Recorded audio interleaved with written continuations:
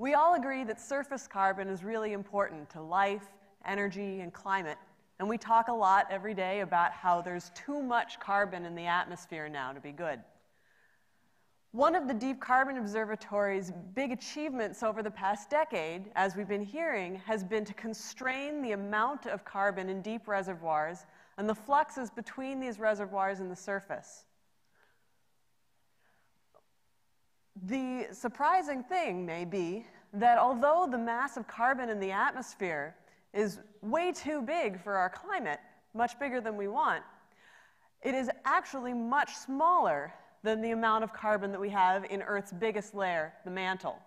So much smaller that it's like this mouse relative to this elephant.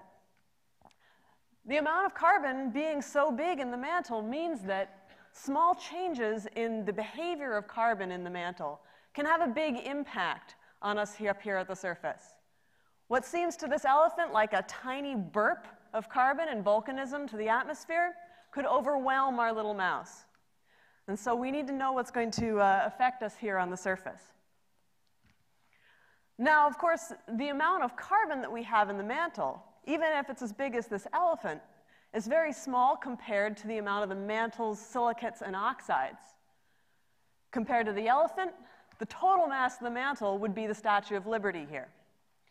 The mantle is going to control the amount of carbon that goes down and the amount that can come back up, for example, as CO2 gas and volcanism, or diamonds and kimberlite rocks. So here are our cast of characters.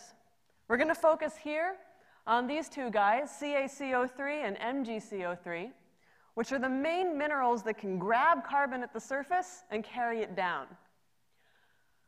Theirs are both carbonates, which means they have oxidized carbon from our oxidized surface. So I'm here to tell you about the journey that they take to the deep earth and two major reactions that could happen to them as they go down. When they reach the mantle, uh, the mantle is different from the surface in several important ways. It's very hot, it's at very high pressure, and it's hungry for the oxygen carried by these carbonates. A major reason why these experiments are super difficult is that we need to make a million atmospheres of pressure and thousands of degrees temperature in the lab and apply them to minerals. We do this in the diamond anvil cell, which is a device we can use to squeeze little specks of minerals and rocks, and we heat them using a laser. The result is a synthetic rock, uh, which is so tiny that the individual grains can be nano-sized. Because they're so small, to figure out what changes have happened to these minerals, we need to use high-tech tools such as electron microscopes. In my lab, we've been using these methods to try to understand reactions between carbonates and things they might encounter in the mantle. Um, as our carbonates go down, they're going to encounter the silicates, MgSiO3 and CaSiO3. When they first reach the lower mantle, um, we get an exchange reaction. Check out how they swap their parts. We, at the upper part of the lower mantle, get always calcium silicate and magnesium carbonate. But as we go down, this reaction switches direction. So if our carbonates reach the base of the mantle, we instead are producing calcium carbonate and magnesium silicate. That's what these uh, images on the right are showing, an experiment demonstrating that we found these uh, phases at the base of the mantle conditions. This change in the reaction is happening because of the high pressures and high temperatures of the mantle. Now remember, the other thing about the mantle is that it's super hungry for oxygen. So the mantle is going to be stealing the oxygen from our carbonates. What it's going to want to do is to transform them into an entirely different carbon mineral, diamond. It's important which of the carbonates we're talking about. The experiment showed that calcium carbonate is more likely to survive this reaction than magnesium carbonate.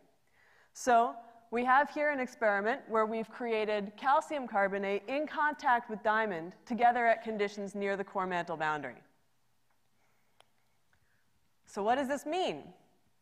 As our carbonates go down, and their, their oxygen gets stolen and they turn into diamond. These diamonds, as they grow, could trap bits of the carbonates that are around, as well as the bits of the mantle, the surrounding minerals. The diamonds that form in the relatively shallow parts of the lower mantle will be more likely to trap magnesium carbonate. If they've reached the deeper part of the mantle, these two reactions that you've just seen are going to favor the calcium carbonate.